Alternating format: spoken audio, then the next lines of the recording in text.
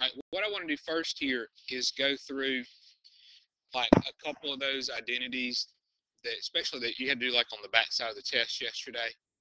All right, you're really going to use those in what we're fixing to do here. Now, let's start off with uh, the the quotient identities. Okay, and I I left those off of the test. I didn't ask you to do the quotient identities, and that's probably the ones that I wanted to ask you about the most. So anyway, I just screwed up. I didn't really put it on the test like I wanted to. So what are we talking about here? The quotient identities. Right, right, okay. So we can write like tangent of theta as sine theta over cosine theta. Okay.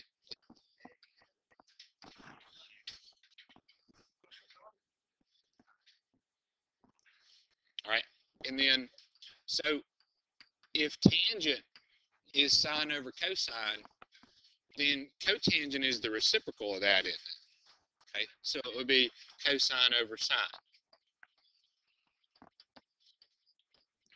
Now, let's look at some other things here. And here's here's where we get with this. Um, we have six trig functions, right? Now, out of the six, um, you have four of them that are not sine and cosine. Secant, cosecant, tangent, cotangent. And so what I want to do with the other four is I want to be able to take the other four and write them in terms of sine and cosine. So every trig function can be written in terms of sine and cosine, and that's going to help me do something with that. Okay, so the other ones that I'm going to do, I'm going to use all of them, but let's look at some reciprocal identities. Okay, so we just talked about how we can write tangent and cotangent in terms of sine and cosine. All right, how can I write cosecant and secant in terms of sine and cosine? Right, the, the reciprocals. Okay, so cosecant is 1 over sine, and secant is 1 over cosine. Okay, so notice these four right here. And so now with those four and with sine and cosine, all six of them can be written in terms of sine and cosine. Now, this is where we're getting to. Okay, and this is sort of the title. I need somebody to pass these out for me since I'm plugged in. Jeremy, would you pass these out? All right, and what he's passing out there, we're only going to look at the first page today. The other pages are for you know Friday, Monday, Tuesday. Um, but this is sort of our title here. We're gonna and we're gonna do this for probably a week now. We're gonna simplify trig expressions.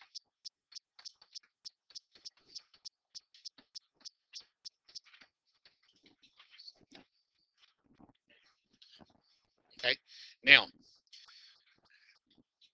notice when you get your paper there that most of these, what what's the main operation? Here's some more. Yeah, it's multiplication. Okay. Now, when I'm multiplying things, especially fractions, how does that lead to a lot of simplifying? Instead of using the word simplifying, what is it really when I do a lot of multiplying? Hmm. Reducing. Okay or canceling, right? So you remember when we talked about canceling, you know, the only time I can cancel, we cancel a numerator with the denominator when the operation is multiplication, okay? And so when we see a lot of multiplication, we're going to use this strategy. So, you know, write this at the top of your page because this is the strategy type, okay? When you see a lot of multiplication, you change everything to sine and cosine. Okay, so we just talked about how we can take the other four functions and write them in terms of sine and cosine. And so when I see a bunch of multiplication like you have on your first worksheet right here, that really lends, the strategy really lends to that because you're going to get a lot of stuff to cancel out. Okay, now what I'm going to do with you here is I'm going to do most of the odd problems, and your assignment will be the even problems. Okay? Now, let's start off with the first one. Okay, number one. And so we're going to simplify this. So cosine x times tangent x times cosecant x. Okay, so we really don't know what that is, but if we rewrite tangent and cosecant in terms of sine and cosine, watch what'll happen. Okay, so how can I write how can I write tangent there? Yeah, sine over cosine. Okay, and then how can I write cosecant? One over sine. Okay, now do you remember why I was preaching to you last Friday about that you really, really need to know these identities? This is why. Okay, so when you when you look at tangent there, you're automatically thinking sine over cosine. And then when I look at cosecant, I automatically know it's 1 over sine. Um, just, hmm, they don't put those, do they? Yeah, you can just do that. You don't need that one. Okay. All right. Now, y'all see what's going to happen? Uh, cosine cancels, okay? And sine cancels, so it's just 1. Now, you see why we want to write everything in sine and cosine, all right? It simplifies out. Now, notice that works out because the operation is multiplication. Okay, so when we start adding and subtracting, that's not going to work out so well, but you know, it does lend itself when you're multiplying. Now let's look at number three. Okay, let's see if you guys can figure this one out. All right, you got sine A times cotangent A. So what could I especially do there with cotangent? Cosine over sine. Okay, so now look what will happen. Sines cancel, yeah. So my answer is just cosine A. Right. Well, let's talk about when when can we cancel something? When when the operation is multiplication, which it is, and one of them's a numerator and one of them's a denominator. So we cancel we can't cancel out a numerator with a numerator. All right. Now let's look. Let's look at number five now. Okay, and then I'm gonna start skipping a lot around here. All right, let's see. This one's got tangent x times cosecant x, and now I'm bringing in division. Okay, so you know with division we've got some canceling issues there, but remember this: could we change division to multiplication? Right. So that's ultimately what's probably going to happen. Okay, now let's go ahead and change everything to sine and cosine. So tangent we can write as sine x over cosine x. And then cosecant we can write as 1 over sine x. And then secant we can write as 1 over cosine. Okay, now before we maybe use that strategy of multiplying by the reciprocal, let's let's clean up the numerator a little bit. Y'all see something we can do in the numerator part? Yeah, sines will just cancel. So we'll get 1 over cosine x. Now this one actually works out a lot better than I anticipated. But notice that's the same thing over itself, isn't it? So it's just 1. Now, let's talk about because it's going to happen in number what was it? I think it's number four. Okay, there's not that's not going to happen on number four. So what happens here if these two are not the same? Well, then I could just change it to multiplication. We can multiply by the reciprocal. Okay, so make your note on number four. That's what's going to happen there. Okay, you're going to get you have a quotient and once you change everything to sine and cosine, you're going to have to change it to multiplication of the reciprocal instead of the, like a division problem. All right, I'm going to skip over number seven. Okay, let me go to number nine. Okay, now on number nine, see, this is another reason why I gave you those questions on the test yesterday, so you would hopefully go ahead and learn it for these lessons. All right, on number nine, you have negative arguments. I don't like negative arguments, but we can get around them, can't we? Okay, what can we use to sort of change things up with these negatives right there and right there? Even and odd properties, okay, or even and odd identities, okay? So remember what cosecant is odd. So cosecant of negative y would just be negative cosecant y. And then cosine is even, so this would just be cosine y. All right, so if we see those negative arguments here, we can use those properties. Now let's go back to our old strategy here. Let's change everything to sine and cosine. So let's see, cosecant we can write as 1 over sine. So I'm just going to leave the negative out in front like that. Okay, you could put it on the sine or you could put it on the 1. It doesn't matter. All right, times now cosine of y. Now notice here, nothing really cancels, does it? Okay, so let's multiply what we have. So 1, negative 1 times cosine y would be negative cosine y. And then we'll just bring over sine y. Okay, now, is there a simpler form, though, that we can write that in? So remember, simplest, right, that's equal to cotangent. Simplest form means I want to write the least amount of stuff possible, right? And so what's, I have two things, I can write those two things as one.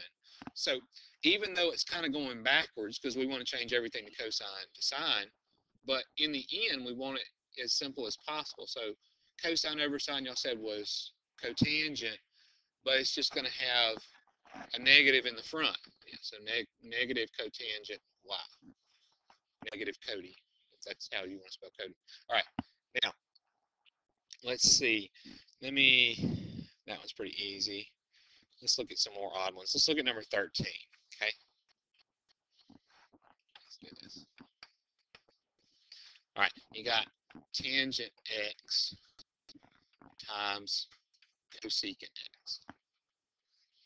Okay, so how could I do tangent? Yeah, sine x over cosine x. And then cosecant is 1 over sine. Right, so that works out pretty good. Sine x will just cancel out. So we got 1 over cosine x. Now, is there a simpler form, though, to write that in? Secant. Okay, and that kind of bothers people. They kind of want to stop at this point right there. But let's think about it. What's a simpler form, a fraction or something that's not even a fraction? Okay, so that's certainly, secant x is certainly a simpler form. Now, let's see, let's look at some of these that have some squares in them. Look at number 15.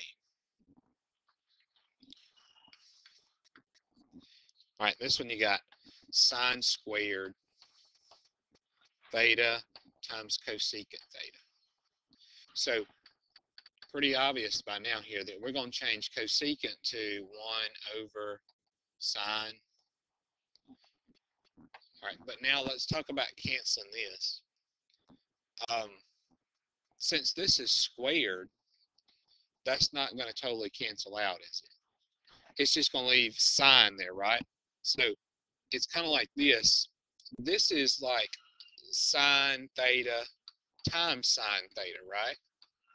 And so when I cancel it out with this one over here, it would just cancel one of them. So this is the way, I don't show it that way. This is the way I show it. Does that make sense? Okay. You know, technically that's not what happens. It's what's left. So now that just leaves you with sine theta. Okay.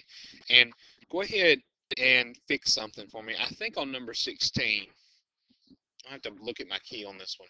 I think on 16, the one that you're going to do, that cosecant theta should be squared. Okay.